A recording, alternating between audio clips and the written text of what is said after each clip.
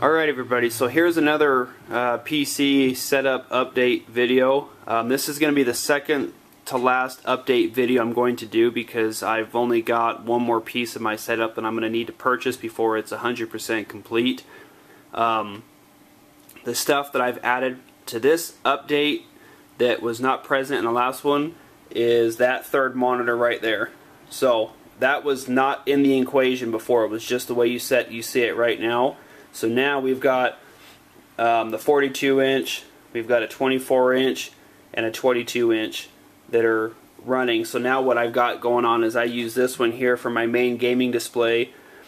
I use that monitor for whenever I'm uploading and all that other stuff and then whenever I live stream I will have like all my text and all my other stuff that way I can kind of read how everything's going and then I've got the laptop right over here for doing yet another. So technically there's four monitors that are going to be running from right down here to left here. So the two new additions that I've got, um, well the three was that monitor there that I added right there.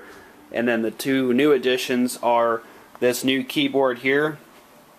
This one is called the Razer Black Widow Ultimate Edition. Um, what's pretty cool about this one is uh, I'll just open up something here that way I can kind of type. Know you guys can hear it. But the uh, Black Widow Ultimate is a mechanical keyboard. So it's a, uh, it's a pretty, pretty nice industrial keyboard. Um, you can pick it up at the Razer, I think it's RazerZone.com or your typical or your local computer store, even ordering it online.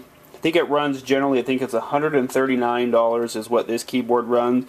It's got a lot of macro keys along the side here if you guys are into that, whereas I'm not. There's a lot of Razer keyboards and other keyboards on the market that just have tons and tons and tons of macro options, and I'm not into all that sort of stuff, but this is actually the dimmest setting that this keyboard has to offer. Um, it was like almost radioactive bright green on the highest setting to where it was like burning my retinas and my eyeballs to where I couldn't even see right, it was so bright. Um, so yeah, brand new uh, Razer Black Widow Ultimate Edition keyboard. I'm very happy with this. And then next is the uh, Razer DeathAdder mouse. Same thing here. I'm more simplistic, you know, with my mount with my mice. There is a mouse on the market that's the Razer Naga or the Razer Naga Epic that has like 12 buttons on the side and a lot of other macros. I don't need all that. I don't play MMOs anymore.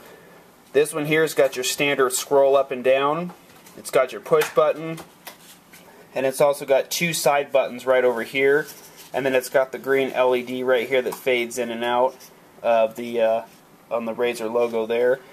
And it's a, uh, let me see here, what does this say? I think it's a 6400. Uh, yeah, right there. I don't know if you guys can read that, if it'll even pick up. Nope, it won't. It won't unblur. But it's a 6400 DPI mouse. And I don't know if you guys remember, this is the old mouse here that we used to use. This is the original Razer Naga. As you guys can see, it's got the, the 12 different buttons there, two buttons on the side along with some other ones. And this one glows LED blue. This is the one that my son uses right now. And um, But yeah, I you know, I just like using the regular, I like this button because it's just your, your typical two buttons, two buttons here, and then your, your scroll. So it's a pretty pretty simple mouse for what I use. Um, I don't play MMOs anymore, so I don't need all those macro keys and whatnot. But there you guys go. There is one more setup video for you. The final setup video is going to be replacing this setup here. I'm going to be giving this setup my Blue Snowball filter and Turtle Beach headset uh, to my son when we get his computer built. So all of this will be gone. The headset will be gone and we're going to completely replace that with a whole new uh, sound setup, or shouldn't say a sound setup, but more so a, um, a headset setup. But I will um, bring that video to you probably October, maybe is when I might pick that up depending on how things go on that. But as of right now, this will be the second to last setup video that I do, as like I said, I'm almost 100% complete with it. I just need to get the the headset that I want to get. So there you guys go. I hope you guys enjoyed another setup video, and we'll see you guys for the last video for my setup series. We'll see you guys then.